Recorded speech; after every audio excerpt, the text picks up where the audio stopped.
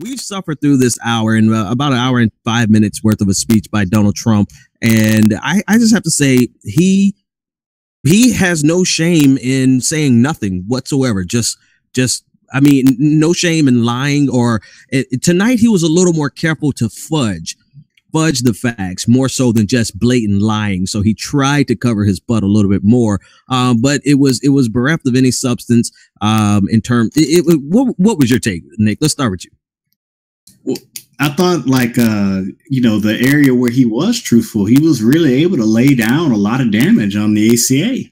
You know, yeah. a lot of stuff he said about the ACA was 100% accurate, and that's a problem.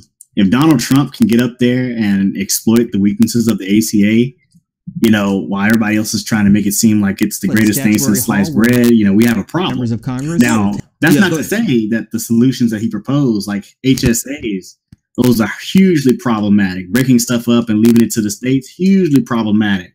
But the weaknesses he did identify were mm-hmm. accurate. It's just that the solutions he proposed wouldn't actually address those weaknesses, and that's that's that's par for the course for Republicans, right? And I right, think right. the greatest example of this would be like um, uh, Ron Paul. He goes, "Well, of course, you know, corporations giving money to politicians is a problem." But the solution is not to ban corporations from giving money to politicians. The solution is just for the politicians just not to take the money. Yeah, it's like that doesn't make any sense.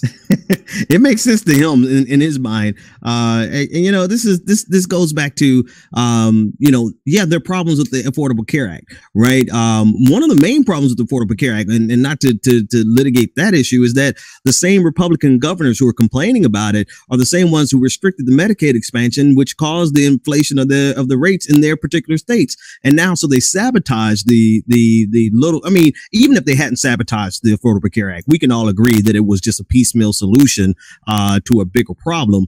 But they sandbagged it to make it even worse, and now they're complaining about it. Blah blah blah. But the biggest thing here for me is that he's making all these promises and it absolutely will not work. There is not a solution that he's going to make inside of this corporate leaning framework for insurance that's going to lower the cost of, of premiums as well as keep all these people on with pre pre-existing conditions that's going to keep all the good stuff and take away the mandate. It just doesn't add up and it's not possible. If it was possible, they would have had another solution and they don't have one, but that doesn't stop him from getting up there and talking about it for about 10 minutes, saying how he's going to do everything right and fix every problem with it and take away the, uh, the mandate.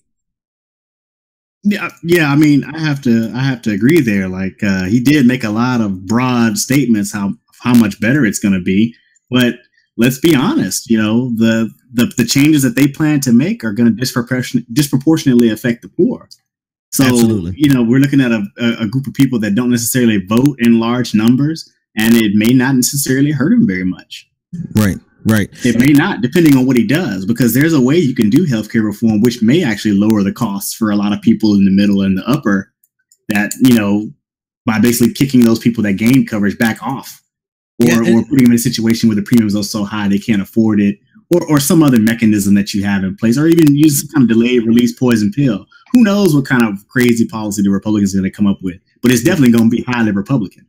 Yeah, and, and here's here's the problem with that, and it's the same problem that he has with the with the other portions of his speech, right? They they're they're they're trying to distinguish themselves from uh, draw a distinction between what they want to do and what Barack Obama did. When the problem is Barack Obama actually took Republican leaning policies on the Affordable Care Act. That's basically Romney Care with some with some other variations in there, but it's basically Romney Care. It's a Republican idea. It's come came from the Heritage Foundation, and now the Republican Party wants to repeal and replace it with something. In reality, they don't have anything that they can replace it with. The only really thing, the only thing they can replace it with is like single payer.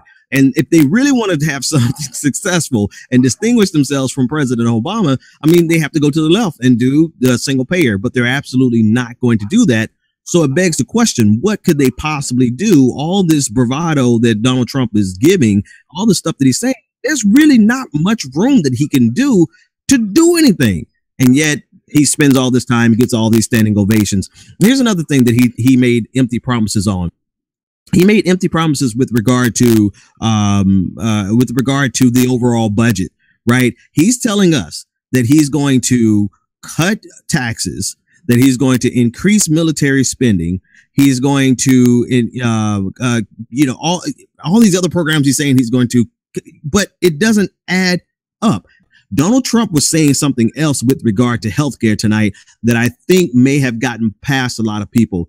Donald Trump said what one thing he said expressly, which was he wants to make it an interstate exchange, right? Not an interstate exchange, but he wants to be able to uh, buy. Uh, he wants people to be able to buy insurance across state lines. All right, we could discuss the, the problems with that. But the other thing that he did not expressly say, but he kept hinting towards, was tort reform. Right? He he wants to be able to uh, minimize uh, the ability of people to sue doctors for malpractice, and and they feel the Republicans have have lived and died on the idea that the only way to get down the cost of of healthcare is to reduce the cost of malpractice insurance. And uh, he didn't say it expressly, but he kept hinting towards that. Did anybody else hear that?